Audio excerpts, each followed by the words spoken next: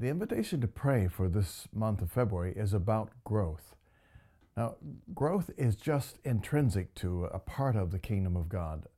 Uh, that is implied through the, all of scriptures, but uh, there's one picture in particular that I love. It's that dream that God gave Nebuchadnezzar the king in Daniel 2, and Daniel interpreted it. And there is a, in that dream, there's a stone that's cut out of the side of a mountain uh, without the aid of any human agency, no hands. And the stone strikes the impressive statue of the kingdoms of mankind, and uh, the statue crumbles and the wind blows it away. And the stone grows and grows and grows until it becomes a mountain that covers the entire earth. That's such a good picture of the kingdom. Well, so growth should be a part of, of anything that is uh, being done in obedience to God. But God speaks specific things to us to stimulate our faith. And I want to remind you of two things that, that God has said to YWAM. First of all, the in, original covenant, the initial covenant of, that gave birth to YWAM, that um, the map of the world with the waves that God showed Loren in 1956, waves of young people. Well, it was wave after wave after wave.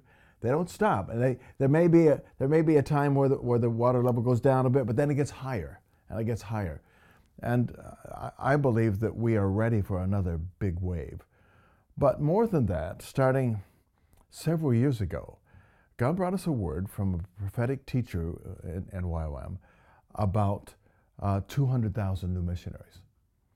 And, and then at, at the same time, a pastor who none of us knew very well, uh, wrote to Loren and, and said God had given him a word about tenfold growth. And because we were around 20,000 at the time, those, those are really strong confirming words. And we all prayed about it and felt yes to that. And, and we don't want to lose sight of that. So that's why this invitation is about growth.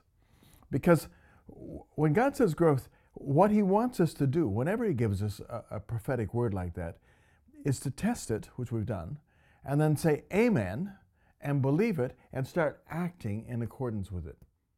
So, the challenge for every YWAM location that is praying into this month's invitation is what is God saying to you about growth? Uh, what would it look like to be 10 times as large? Not all in one location, but, but if, if, say, you're 50 people, what, what would it be like to grow to 500? How many other locations should, should you be planting out? What other nations are you called to? What are your circuits?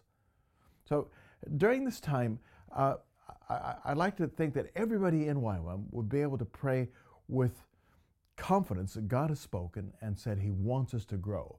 So then we say, okay, how? Does it have to do with all the other spheres? Does it have to do with the great Chinese missions movement or the growth of the body of Christ in India or sub Saharan Africa? Uh, all of the above?